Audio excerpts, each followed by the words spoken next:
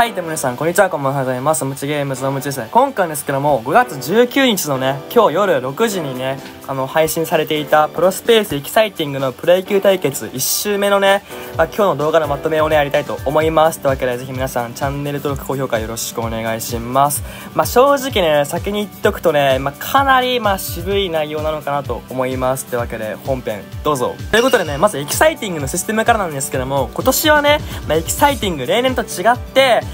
配信の方でね、まあ、1週間、毎週日曜日かな、3週連続でね、生放送やるんですけども、そちらでね、まあ、あの、4チームごとかな、まあ、各選手、各チームね、8名登場してね、まあ、3日間でわかるんですけども、まあ、今回はね、まあ、読売、巨人と楽天とロッテとソフトバンクのね、選手が発表されました。まあ、そしてね、S ラン契約書に関してなんですけども、こちらもね、例年とは違って、まあ、かなりね、ややこしいシステムになってるんですけども、まあ、一応ね、まあ、バッとね、もう分かりやすく言うと、とりあえず、S ランク契約書、エキサイティングの、エキサイティング契約書がもらえる枚数としては、上限マックスで1枚ですね。うん。これもね、本当に分かりにくかったと思うんですけども、マックスがね、上限1枚ということで、昨年はね、まあ、2枚とかあったと思うんですけども、今年は1枚です。まあ、あとね、ポイントに関してはね、これ説明するとかなり難しくなっちゃうんで、まあ、省きますけども、まあ、一応ね、3日間の合計が、30ポイントいけばエキサイティングのね、 S ランク契約書獲得できるんですけども、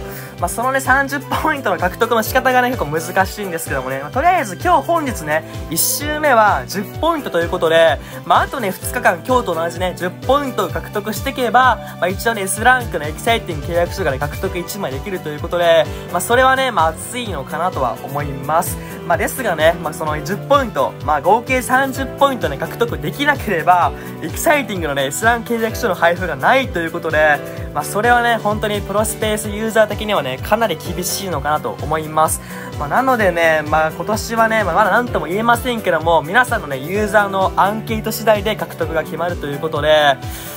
まあね、これもしスラン契約書が獲得できなかったら、まあ本当にね、まあちょっとね、ユーザー離れていくのかなとは思います。続いてね、登場選手ですね。まあ先ほども言った通り、今日はね、ロッテと楽天と巨人とソフトバンクの選手がね、まあ発表されたというかね、対決の動が上がったんですけども、まずロッテですね。ロッテは小島選手と種市選手。続いてね、楽天。楽天は早川選手と小畑選手。巨人は秋広選手と門脇選手。ソフトバンクは周東選手と石川選手ということで、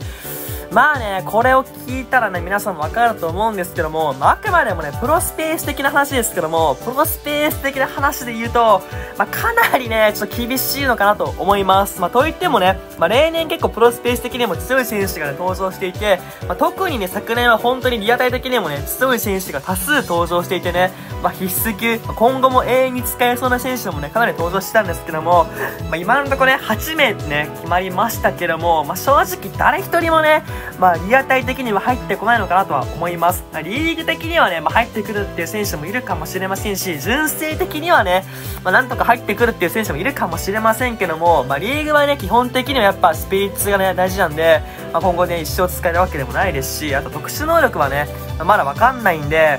まあ、結構ね、厳しいのかなとは思います。まあ、その中でもね、まあ、石井って言うなら、まあ、石川選手かな。まあ、今年からね、中継ぎ適正を削消えてますけども、一応ね、スタミナと球威が同一、同値なんで、まあ、そこはね、大きいのかなとは思います。まあ、ツーシームとね、パワーカーブ持っているんで、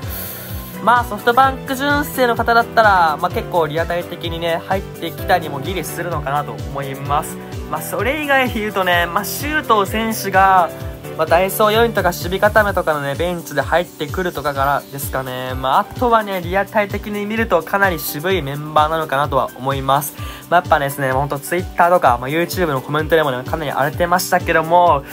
まあね、動画的にはね、良かったんですけどもね、配信の、あの、プロスペ的にはね、ちょっと厳しいのかなと思います。まあ、なのでね、今後、残り8球団ありますけども、この8球団の方にね、期待したいなとは思います。続いてね、まあ、エキサイティングのね、ガチャシステムと、あと特殊能力についてなんですけども、まあ、ガチャに関してはね、まだ何も発表、ガチャと特殊能力どちらもね、発表されてないんですけども、まあ、ガチャに関しては、まあ、おそらくですけどもね、例年と一緒のね、30連目で S ラン確定、60連目でね、自チーム S ラン確定の第1弾、第2弾でね、登場してくるのかなとは思います。今年もね、各チーム2選手ずつね、登場しているんで、まあ、おそらくですけども、2ラウンドで登場してくるのかなとは思います。まあ、特殊能力に関してもね、特に何も発表はなかったんですけども、まあ、熱気のままね、維持してくれれば、投手だったらね、相手のパワー下げれますし、野手だったらね、自分のパワー上げれるんで、まあ、リアタイ的にはね、かなり熱いのかなとは思います。まあ、これはね、まあ、ほんと今年もね、まあ、維持するかどうかでエキサイティングがね、まあ、盛り上がるかと、盛り上がるかどうか、まあ、かなり変わってくると思うんですけども、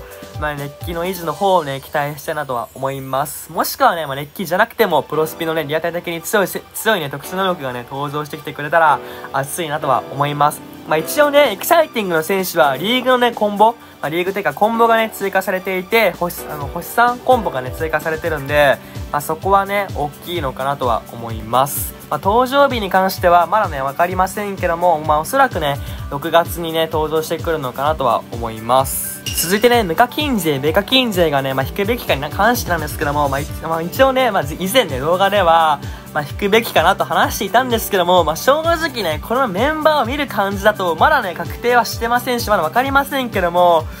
まあ、正直ね、渋いのかなとは思うんで、まあ、ガチャね、エキサイティング、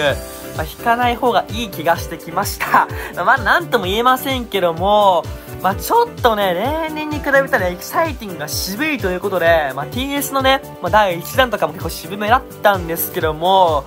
まあ、エキサイティングの方もね、まあ、渋くなってきたのかなとは思います。まあ、なのでね、エキサイティングで回さず、まあ、TS 第2弾でね、エナジー使ったりとか、もしくは、イチローセレクションね、まだ登場日日とかね、あと登場のね、する選手決まってませんけども、イチローセレクションとかの方で、エナジー使っていくのはね、ありなのかなとは思います。エキサイティングでもね、まだあと8球団あるんで、まあ、8球団でね、プロスピ的に強い選手が登場してくる可能性もね、まだあるのかなとは思うんですけども、まあ、今回全体的にね、若手の選手が多くね、登場しているんで、まあ、今後もね、若手の選手を登場、若手の選手をね、中心にね、まあ、登場してくる可能性が高いんで、まあ、プロスピ的にもね、ちょっと厳しくなってくるのかなとは思います。ということでどうだったでしょうか？まあ、エキサイティングね、配信、まあ、かなりね、同接とかも多かったと思うんですけども、まあ、その分ね、コメントも荒れてましたし、ツイッターでもね、結構荒れてるのかなとは思います。僕もね、今これ配信しながらね、動画撮影しているんですけども、まあ、正直ね、やっぱ渋かったのかなとは思いますね。まあ、まだね、今後2週間ありますんで、わかんないんですけどもね、まあ渋いのかなとは思います。この動画急遽ね、ほんと緊急でね、急いで動画投稿しようと思ってるんで、ぜひよかったら皆さん高評価、チャンネル登録、コメント、あとプロスペースのね、フォローの方もよろしくお願いします。それでは、最後までご視聴いただきありがとうございました。おちち